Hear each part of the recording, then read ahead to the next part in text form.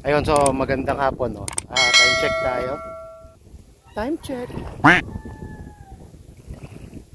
2.32 ng hapon. Dito na naman tayo sa Limbon, sa Binungonan. Ayun, ah, unang fishing ko ng taon na to, January 2. Ayan, ah, try lang natin kung may madadali tayo. Tsaka gusto ko lang mag-relax. Ayan, kaya nagsarado ulit ako ngayong araw na to. Ayun, ah, so, tingnan natin kung mahuli natin dito. Ngayong hapon, hanggang bago tayo umuwi. Kaya stay tuned lang.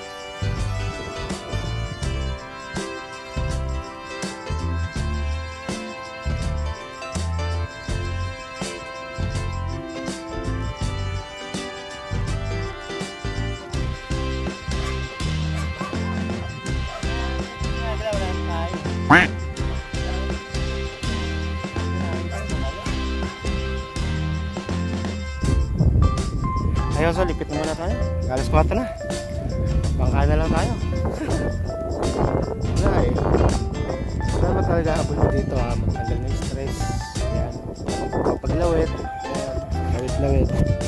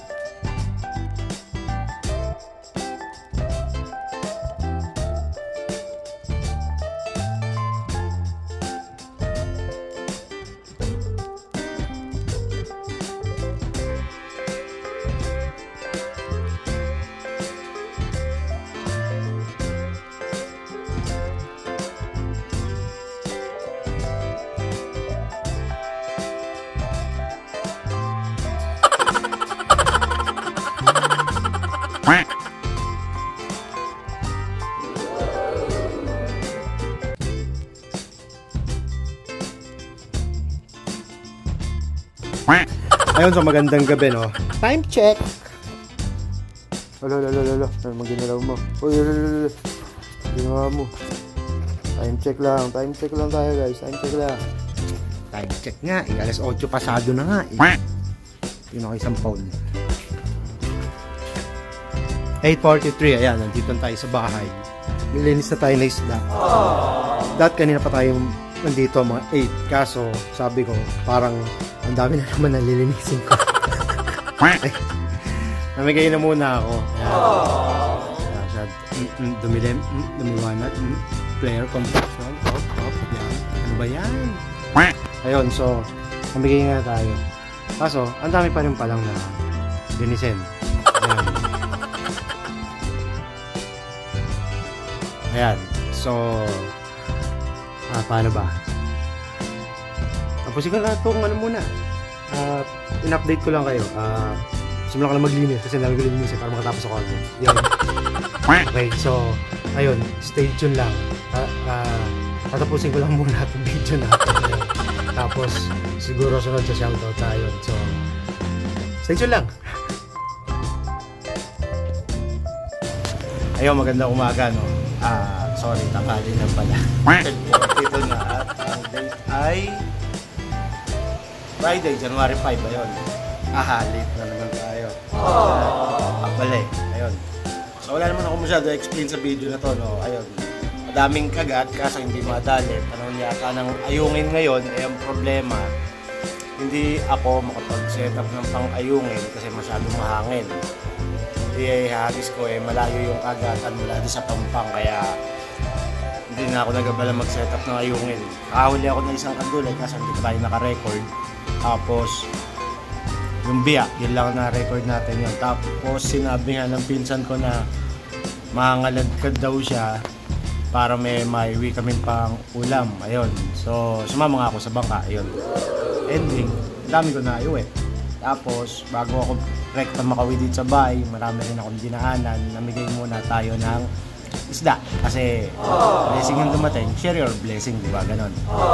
Marami pa naman natira. Actually, from yung ados, ah, ilang pa natira sa akin, pito. Ngayon, isa na lang kasi kinain ko yung isa agad. May isa tao plata at mga kanduli nga pala yun. So, paano? Ah, shoutout na tayo. Ayun. Shoutout sa'yo, Macro Hasen family. Yes! Magandang umaga, bro. Shoutout din kay bro Elvin Kunanan, Tambalke and family at saka sa kanyang YouTube channel na Anita LTV. Ayan. Magandang umaga sa Eh, tanghali na pala sa inyo.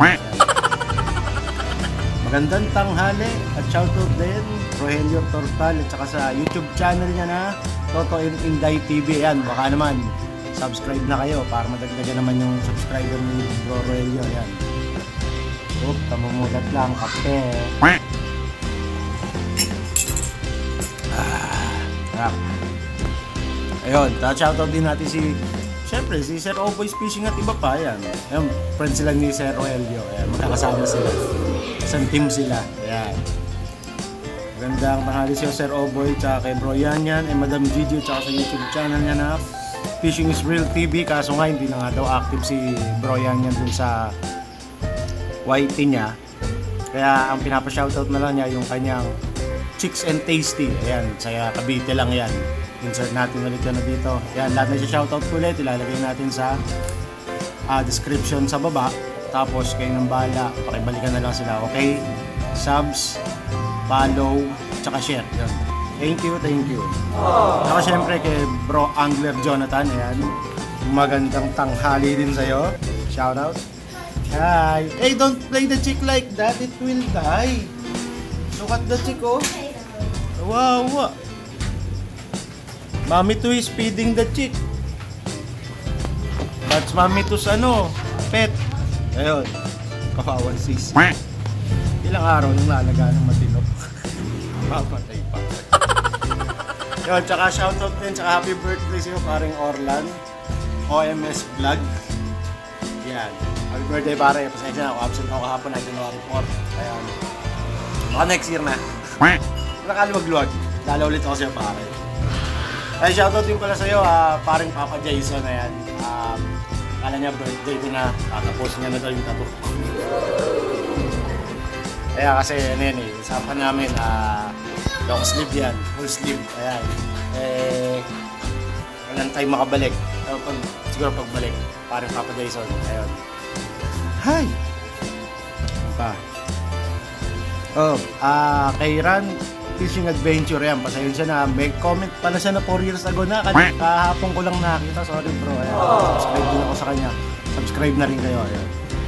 At saka, yun, ah, special mention niya ulit kay bro Roylito Calderon. Rest in peace bro.